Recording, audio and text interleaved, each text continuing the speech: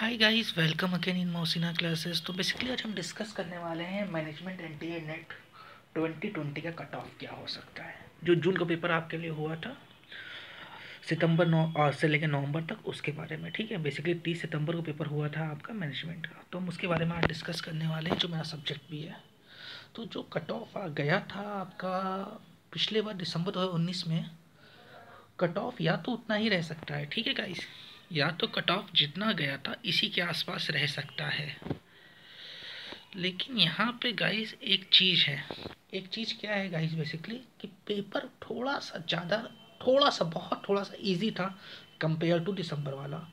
तो हम मान सकते हैं ये कट ऑफ़ थोड़ा बढ़ सकता है।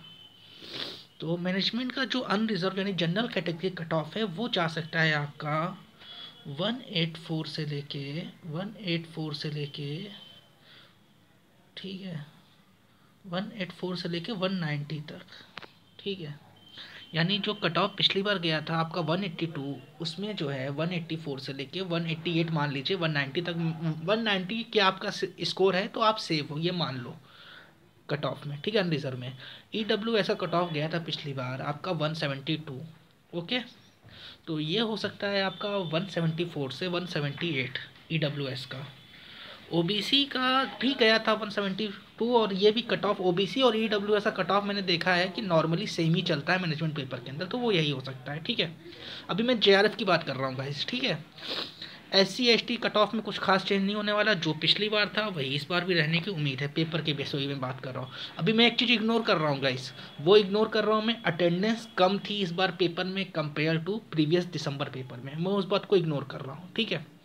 मैं सिर्फ़ पेपर देख रहा हूँ और पिछले बार का पेपर देख रहा हूँ और उसके बेस पे कट बता रहा हूँ आपको भी। इसके बाद हम नेट पे आ जाते हैं। तो नेट में आपका गया था मैनेजमेंट चौवन परसेंट। ये मान सकते हैं आपकी चौवन ही के आसपास रहेगा, यानी एक सौ बहत्तर गया था एक सौ बहत्तर के आसपास रहेगा बहुत होगा।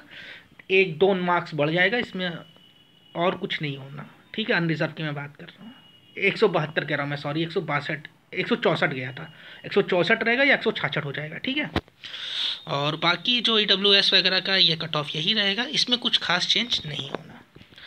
तो ये तो बात होगी नॉर्मल सी कि ऐसा ऐसा कट ऑफ़ बन सकता है क्योंकि पेपर का लेवल थोड़ा सा ईजी था कंपेयर टू दिसंबर वाले पेपर का मैनेजमेंट का जो मैंने पूरा एनालाइज किया है बेसिकली अब कुछ लोग कह सकते हैं पिछले बार डी आई पेपर उन्होंने काफ़ी ईजी आई थी इस बार डी आई थोड़ी स्टैंडर्ड थी ठीक ठाक सी थी। ठीक है।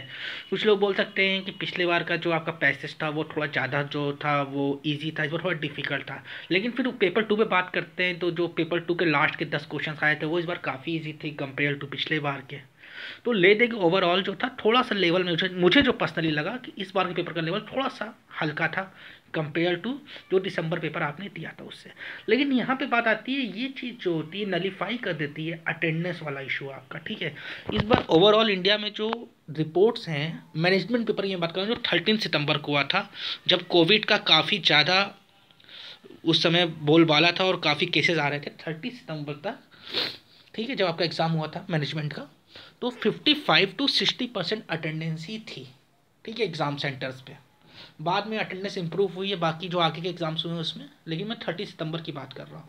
तो यह ये फैक्टर सीन में आ जाता है अटेंडेंस वाला, और जो रिपोर्ट है वो सही निकलती हैं।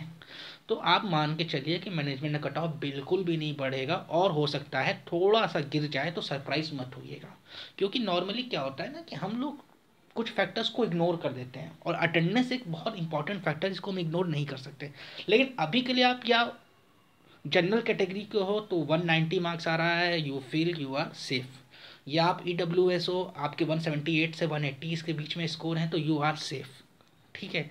या आप ओबीसी हो, और आपके 170 टू 80 स्कोर हैं तो यू कैन फील सेफ़ तो अभी आप सेफ़ फील कर सकते हो। लेकिन ये सब जितनी भी है, ये सब प्रोजेक्शंस हैं फ्यूचर को हम लोग फॉरकास्ट करते हैं, यहाँ पे ईयर के चांसेस भी हो सकते हैं। हो सकता है cut off one ninety two चला जाए, हो सकता है वन एटी टू चला जाए ई का, ये चीज़ें हो सकती हैं। हो सकता है इससे कम भी चला जाए। बट जो मेरी प्रोजेक्शन थी, वो फुली बेस्ड थी दोनों साल के पेपर को मैंने कंपेयर किया, उनके क्वेश्चन का लेवल क्या था, उसके वजह से मैंने आपको कट ऑफ़ दे दी है। ओके और फाइनली मैंने आपको एक चीज़ बता दी है कि अटेंडेंस का फैक्टर या सीन में आता है तो कट ऑफ़ गिर भी सकती है, यहाँ से भी नीचे जा सकती है। तो अभी के लिए इतना ही गाइस बाय टेक केयर